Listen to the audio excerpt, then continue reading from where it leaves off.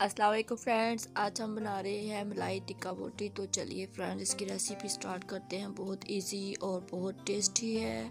इसको आपने full watch करना है। वीडियो पसंद आए तो लाइक भी ज़रूर कीजिएगा, इसको ट्राई ज़रूर कीजिएगा। तो फ्रेंड्स, इसको बनाने का तरीका जो है वो बहुत ही आसान है।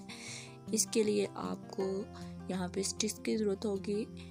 तो यहाँ पे हमने बोनलेस चिकन लेना है। पे हम यहाँ पे यूज़ कर रहे हैं लहसुन का पेस्ट में लिया है नमक लिया है काली मिर्च पाउडर और थोड़ा सा हमने चाट मसाला लिया है। अगर आप चाहें तो टिक्का बोटी मसाला भी ले सकते हैं। साथ में हमने लिया है दही और क्रीम ली है थोड़ी सी तो चलिए फ्रेंड्स को बनाना स्टार्ट करते सबसे पहले हम इसमें ऐड करेंगे। यहाँ पे एक बाउल में दही ऐड कर लेंगे।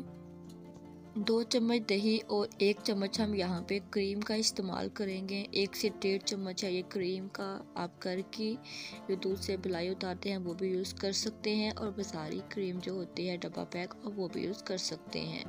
इनको हम मिक्स कर लेंगे। इसको अपने अच्छे से मिक्स करना है, दही की कोई भी आपको यहाँ पे लम्स यहाँ पे नज़र नहीं आने चाहिए। इसी के साथ हम यहाँ पे इसमें ऐड कर देंगे, यहाँ पे लहसुन का पेस्ट ऐड करेंगे, तकरीबन वन टीस्पून साथ में नमक हंसपे जायका, चाट मसाला लिया है और साथ में ब्लैक पेपर यही चीज़ें हैं, इससे ही बहुत ही अच्छा टेस्ट आ जाएगा इसका। इनको हमने अच्छे से मिक्स कर देना है।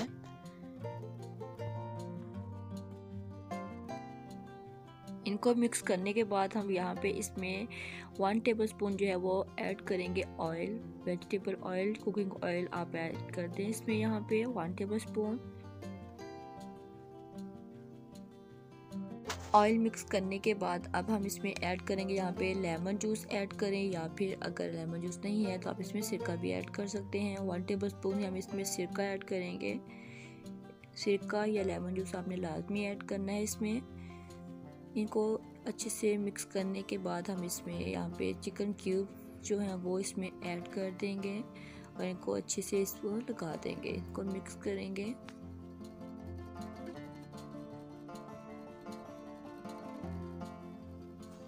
इनको मिक्स करने के बाद हम इसको मैरिनेट होने के लिए रख देंगे।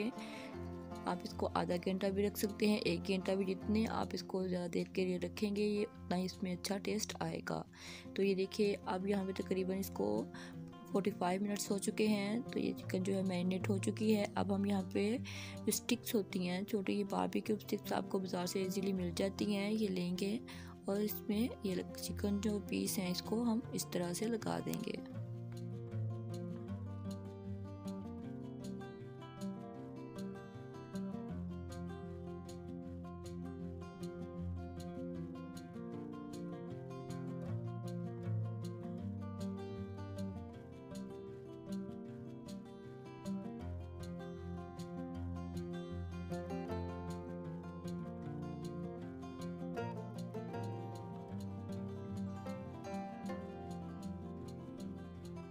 सारे स्टिक्स में हम इसी तरह से ये लगा लेंगे।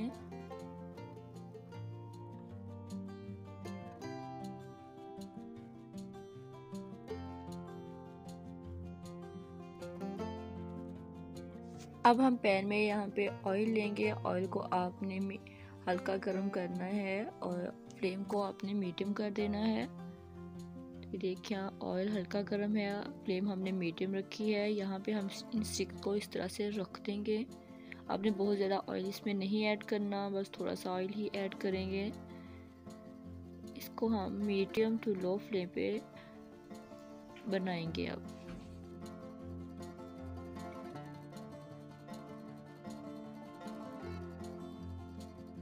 ब्रश की मदद से आप इस तरह से ऑयल जो है इनके ऊपर इस तरह से लगा दें।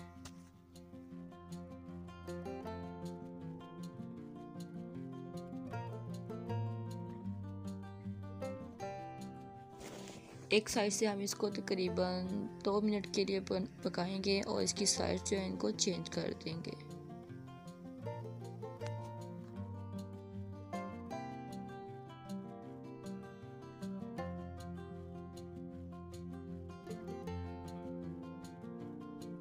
इसी तरह से इसकी साइड्स चेंज करते हुए इसको अच्छे से हम पका लेंगे। इस पर लाइट सा कलर आएगा, बहुत ज़्यादा हमें इसको कलर नहीं देना है। तो ये देखिए हमारे जो टिक्का बोटी है मलाई टिक्का बोटी वो तकरीबन रेडी है। ये अब अच्छे से पक चुकी है। तो अब हम इसको प्लेट में निकाल लेंगे। बहुत ही अच्छी खुशबू के साथ, बहुत टेस्टी ये बनती है। आपने इसको ज़रूर ट्राई करना है।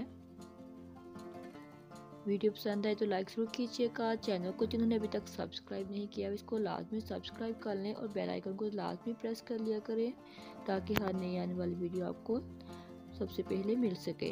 फ्रेंड्स, ये रेसिपी हमारी आज की रेडी है। इसको ट्राई ज़रूर कीजिएगा। नेक्स्ट वीडियो तक दीजिए इजाज़त। अल्लाह हाफिज़।